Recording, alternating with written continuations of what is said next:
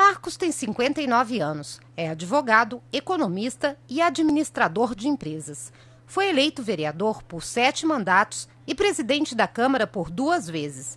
No Legislativo, assumiu as secretarias de Turismo e de Desenvolvimento Econômico e Trabalho. O Marcos Tony é um político diferenciado.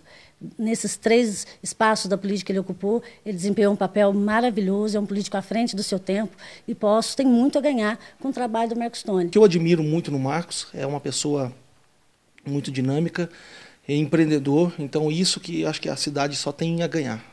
Nascido em Poços, fez vários amigos. É o melhor amigo que eu já tive até hoje, desde a infância. Nós temos uma convivência na área infantil, área escolar e área empresarial. Como amigo, nunca deixou nada a desejar. Tudo que foi que, de empreendimento, de brincadeiras que a gente teve junto, sempre a pessoa mais honesta que eu já vi na vida. Dona Maria conta que é mãe de coração do candidato. Afinal, são 32 anos de convivência. Ele é filho da cidade, né? já é uma coisa a favor dele, né? Tem muito, tem muito sonho para a cidade. Marcos é casado com Vivian e pai de três filhos: Marcos Vinícius, Daniel e Eliseu. Viaja bastante com a gente, eu, ele me acha alegre. Quando eu estou triste, ele, ele me incentiva para mim ficar mais alegre.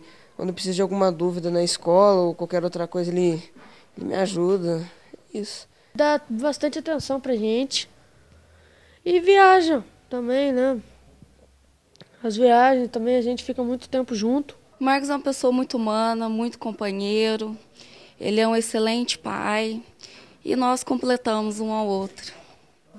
É, é da família. O que, que você tem para falar do papai?